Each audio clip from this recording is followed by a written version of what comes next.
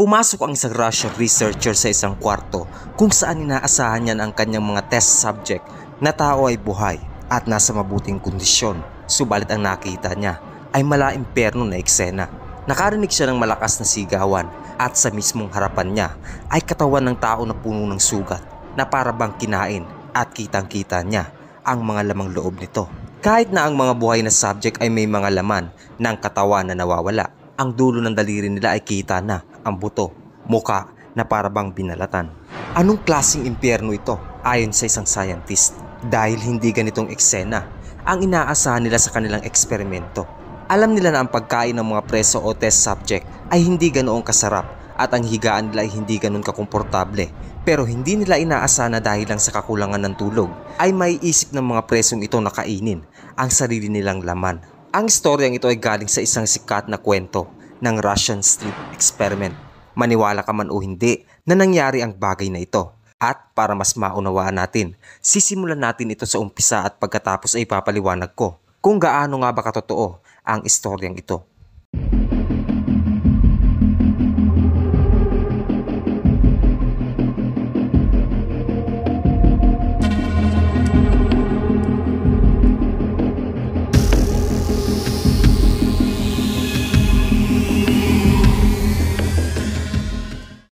Ang panahon ay late 1940 at ang Soviet Union ay nakaimbento ng stimulant na kayang panatilihin ng tao nagising sa loob ng mahabang panahon na magagamit nila sa mga sundalo pagdating sa gera. Dahil noong Second World War nakaimbento ang mga German ng stimulant na binubuo ng methamphetamine na tinatawag na Pervitin.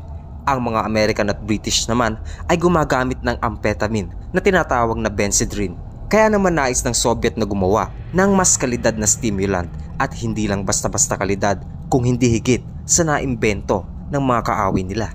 Di nagtagal nakaimbento sila ng isang espesyal na gamot pero kailangan nila itong subukan sa mga tunay na tao. Hindi naman ganun kahirap humanap ng subject dahil ang preso noong panahon ng World War II ay talamak at hindi na rin bago sa mga preso ang karumal-dumal na gawain ng mga doktor noon.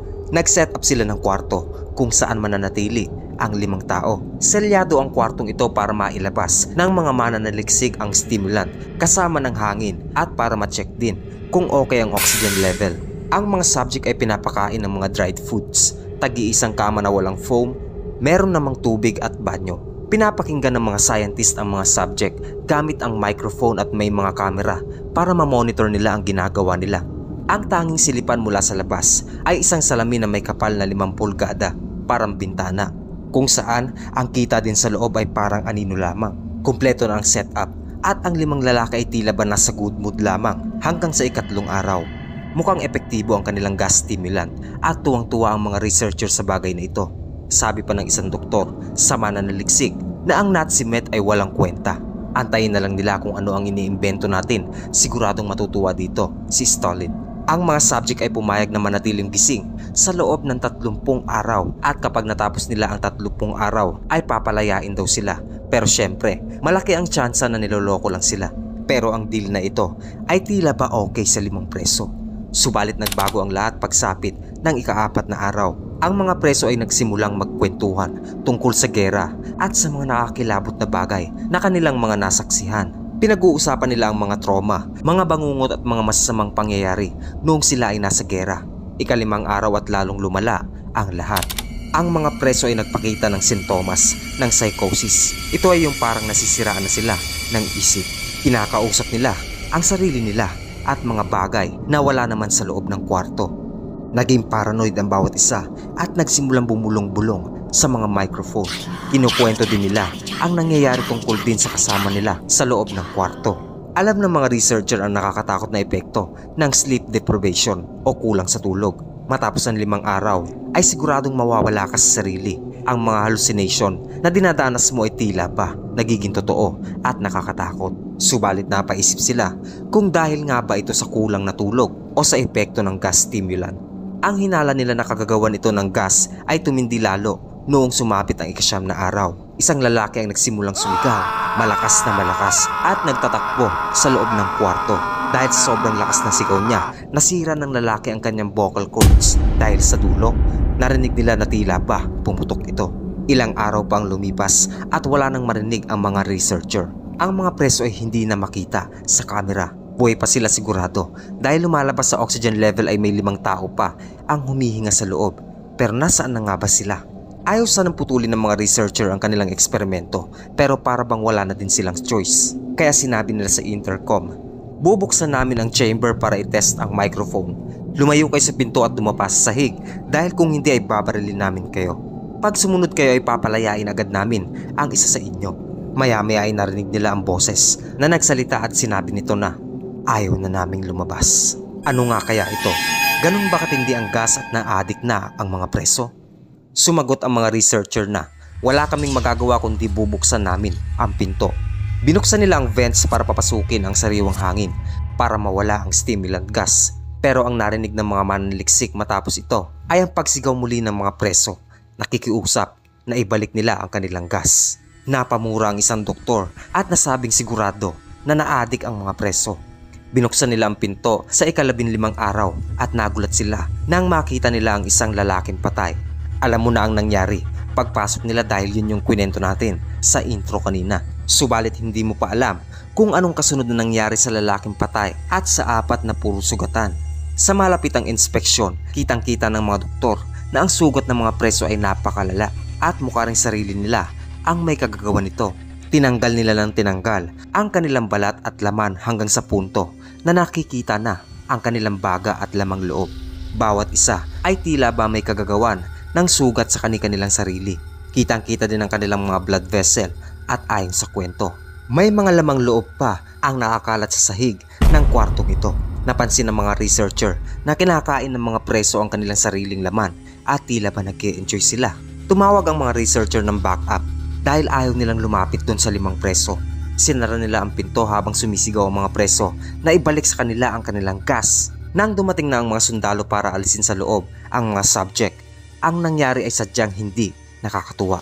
Isa sa mga subject at sumugod at tinanggal ang lalamunan ng isang sundalo. Yung isang sundalo naman ay pinutulan ng pagkalalaki o itlog. Limang sundalo ang nasawi para lamang mailabas ang mga preso pero ang dalawa daw dito ay nagpakamatay sadya matapos makita ang eksena sa loob ng kwarto. Oras na mailabas ang mga subject, agad silang tinurukan ng morphine para kumalma pero tila ba hindi ito umeepekto. Isang preso ang nagdugo ng sobra at tumigil ang kanyang puso pero sumigaw pa rin daw ito. Give me gas, I need gas, sigaw ng preso. May mga doktor na nabalian, kakaawat sa mga subject ang tatlong natitira ay agad na ilipat sa isang facility at tinali sa higaan.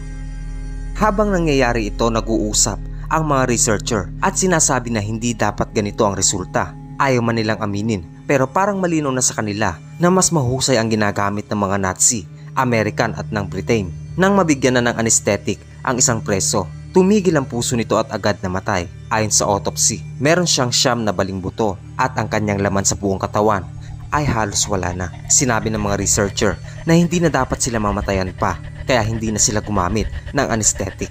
Pinagaling nila ang mga sugat nito at binalik lahat ng nasirang lamang loob nito. Ayon sa doktor ay hindi na dapat buhay ang lalaking ito matapos ang lahat ng sugat niya pero naniniwala pa rin siya sa kanyang trabaho.